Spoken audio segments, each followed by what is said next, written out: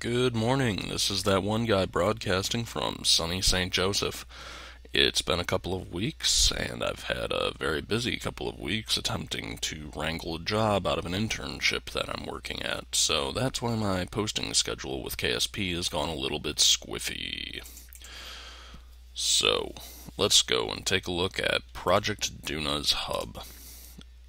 I've got the ship, for all intents and purposes, built as a locomotive to haul my stuff out to Duna. Uh, I did have a rogue uh, RCS drone uh, fly off and destroy one of my solar panels, but that is why I doubled up on the solar panels. So I don't think that's going to be an issue. Uh, we're not losing charge at any great rate of speed, and beyond that, we have plenty of electric charge. So, uh, currently, I'm in the process of fueling the massive uh, train engine Duna hauler thing. Project Duna. I'm in the pro- process of refueling Project this is a refueling drone. Um, it's not the most efficient thing in the world, but at the same time, it gets the uh, gets the job done. So we're going to set that as our target.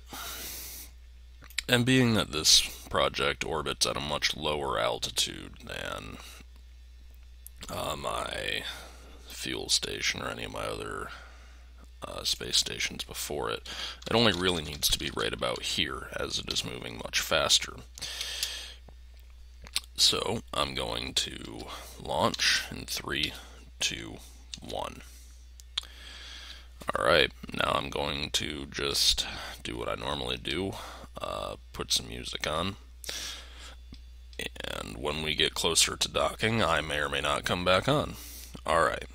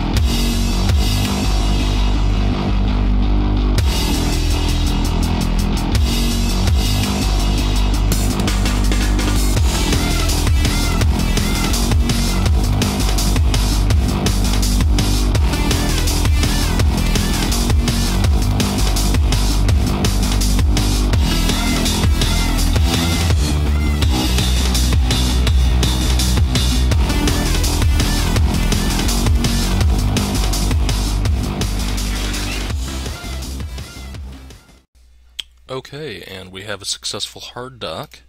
Let me just go ahead and find the tank I was working on. Oop. Alright, and there we are. Now this is a mission that I've calculated probably need to be repeated about 10 times uh, over the course of the orbiting uh, phase. I'm trying to fuel it up before I start loading the um, one, two, three, one, two, three, before I start loading the parts on uh, to go out to Duna, because I would like this station to have more mass uh, before it, well, starts getting bigger and bigger, heavier and heavier things uh, thrown on it. So let's go ahead and undock this, switch, Now, the one thing I've found to be very useful is do not turn on your RCS. I'm sorry, your uh, your SAS uh, while you are undocking, as it has the potential to come back and bite you in the butt, uh, as I found out with my uh, Rogue drone. It flipped end over end, and I couldn't stop it, and I was trying to get a hold of it, and uh, it crashed into a solar panel and destroyed a solar panel. So there was that. And now we burn off this little bit of fuel to make sure that we don't have any orbiting space debris. And this is what we're left with. Uh, the Project Duna um, train engine. Now, there's only one thing that I forgot to do, and that was I installed my computer upside down. So when I fly this thing, I'm going to have to control it from here. But let's go to the Space Center a quick minute. In the last couple of seconds of this video, I'd like to look at the Project Duna hub and take a look at what it is. Its current classification is a space station. Current part count 187. That's not going to change until I start loading on uh, the parts that need to be taken out to Duna. Its total mass is increasing, currently is at 101.7 tons, and that is going to be increasing throughout the duration of the refueling process. All of the RCS has been refueled, and uh, I just need to get on it and put uh, more rocket fuel into the Project Duna. Now, I haven't tested this before. You're looking at the very alpha test of this whole system, so I'm really hoping that it works because uh, when I do shoot it off to Duna on camera, I don't want to look like an idiot. Alright, this has been that one guy. Thanks for watching.